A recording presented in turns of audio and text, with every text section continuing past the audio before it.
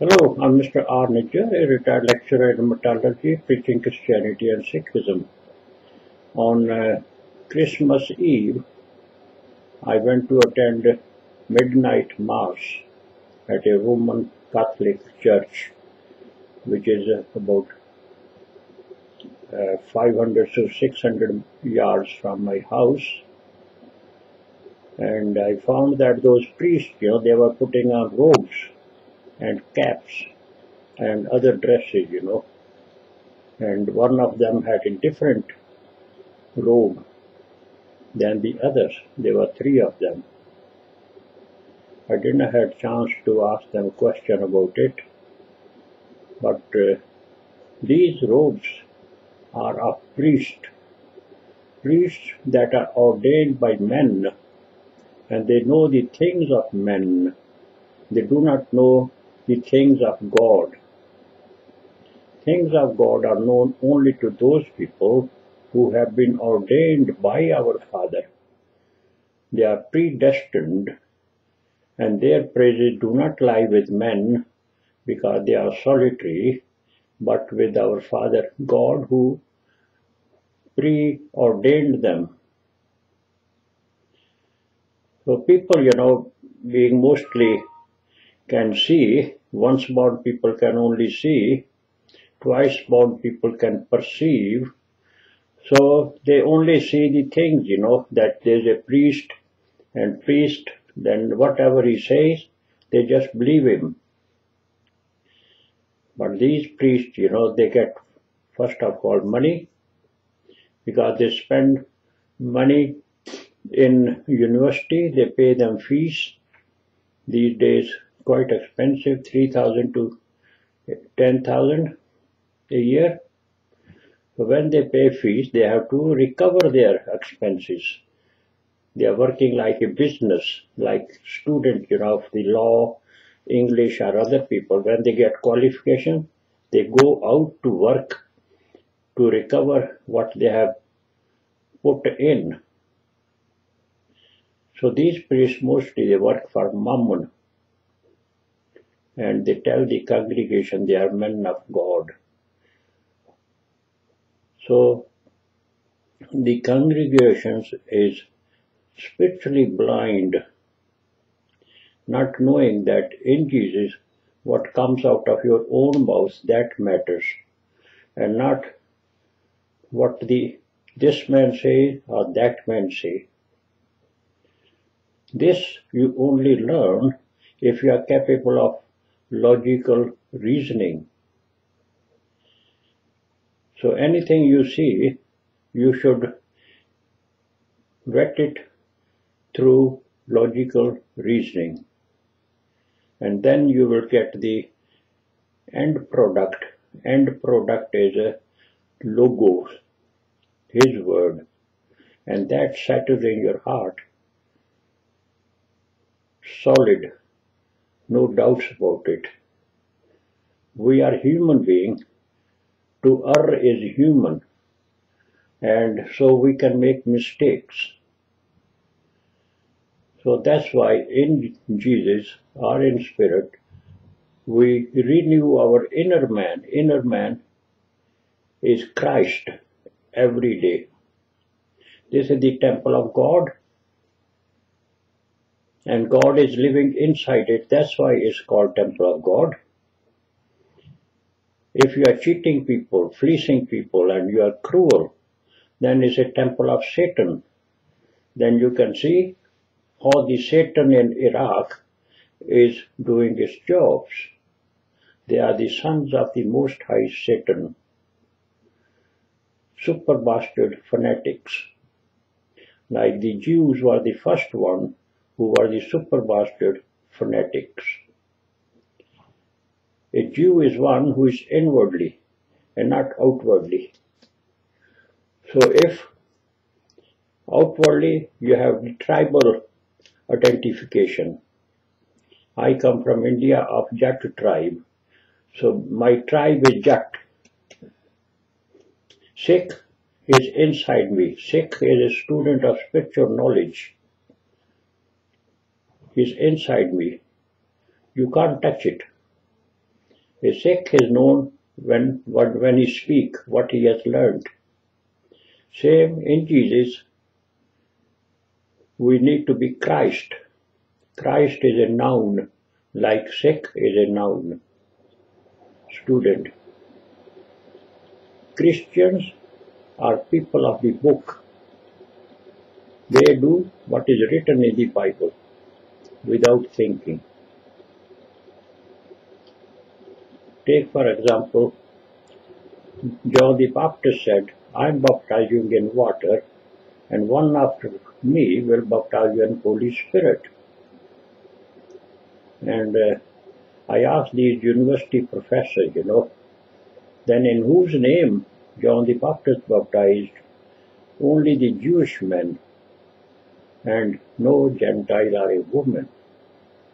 They have no idea at all because they have learned the subject through the book knowledge. This merit, that merit.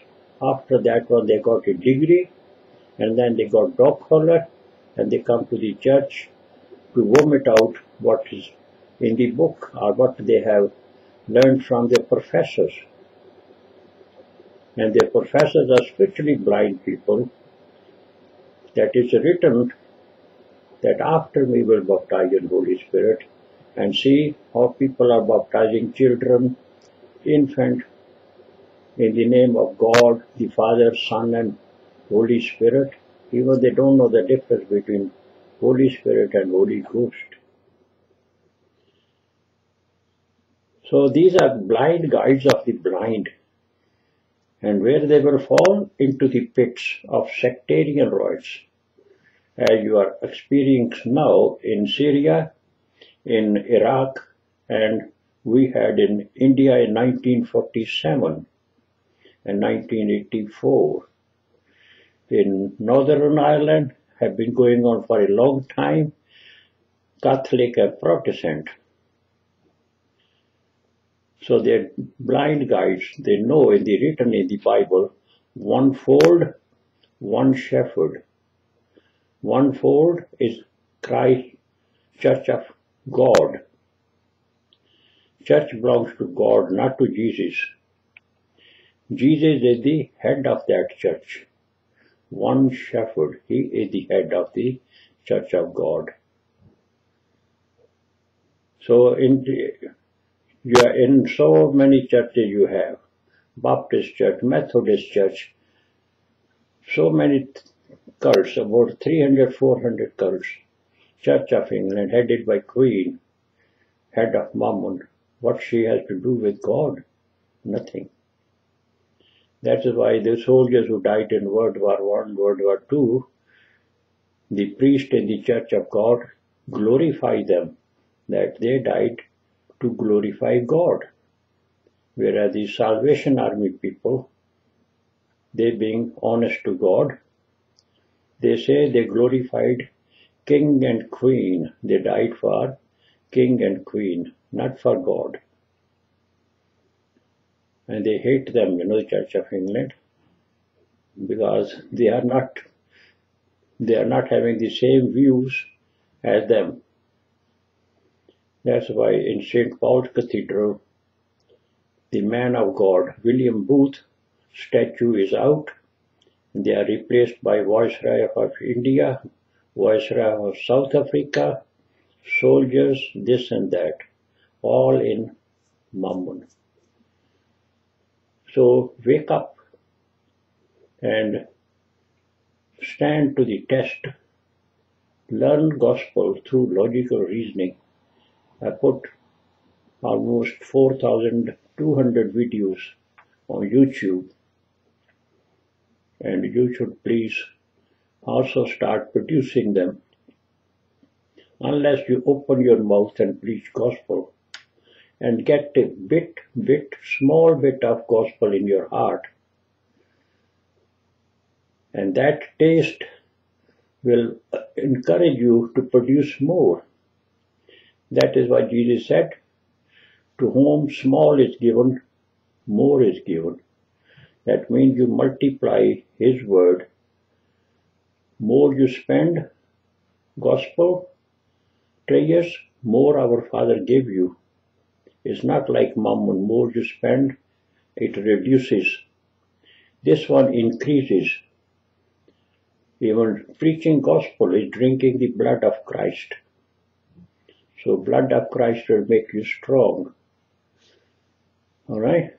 So when you preach gospel, you preach gospel like a strong man. Remember the parable of fold, you know, the house when it's guarded by a strong man, thief can't enter.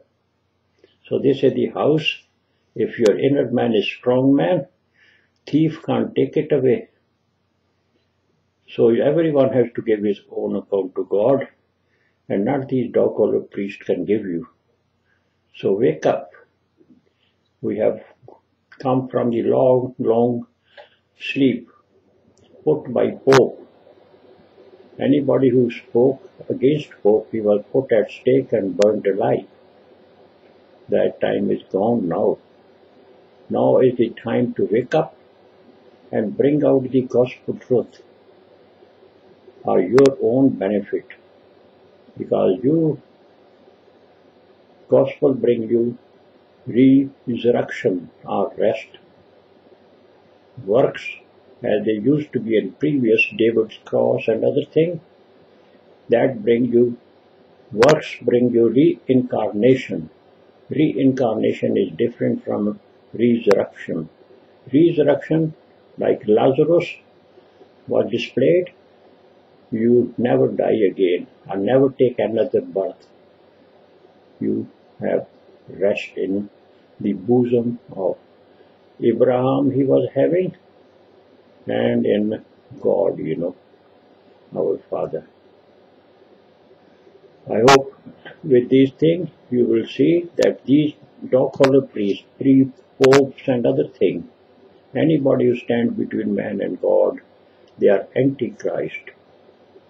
So to fight the antichrist, you have to make fellowships of royal priest.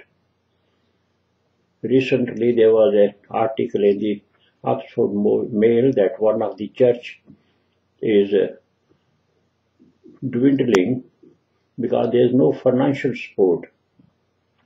It's an old church, 200 years old, and too many expenses on its uh, upkeep, and uh, they have no money.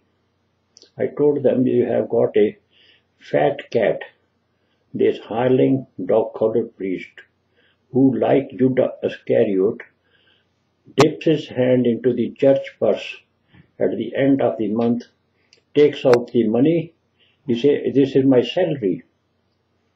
Bloody hell, are you working for God or for Mammon? So they, can, they can't see that this man is a Judas Iscariot in sheep's clothing. Jesus throw him out at the Last Supper. Go and do your job. You are not fit to enter into the royal kingdom of God. And after that, throwing him out, he welcomed the eleven into the house of our Father by washing their feet. Remember, the, he went to the Pharisee Simon. He did not wash his feet. He was proud, arrogant. Whereas Mary Magdalene came she washed Jesus' feet with tears of love, not of repentance, as they, these people call it. Tears of extreme love. And then she dried her feet with her own honor. Here represent honor because you put them on your head. He washed the feet of Jesus with her own honor and she was happy. So Jesus washed their feet at the after Last Supper to take them to the bridal chamber, Eucharist, and where he performed his uh, marriage. So remember the marriage of the son. One man was not properly dressed, and that was thrown out was Judas Iscariot. All these things come to you, not at all of a sudden. you have to keep on working. More you spend his prayers, stronger you get taste for gospel, stronger you become, and with confidence you preach gospel. So don't give up. If you can open your mouth, I'm sure our Father will feed you with His word. And our Holy Spirit Mother will feed you with the Holy, with His with His word. Remember, God is God doesn't speak. Is the mouthpiece of God is Holy Spirit, Shakti we call him. That give you power to preach gospel of our Father. People with Holy Spirit with small s is called the spirit of man, which is common sense. Holy Spirit shatters the fetters of the letters. And if that will shatter the fetters of the letters, set you free, and then you think logically, and you will get gospel. As simple as ABC. So our Father blesses you, and if I can do anything for you, please let me know.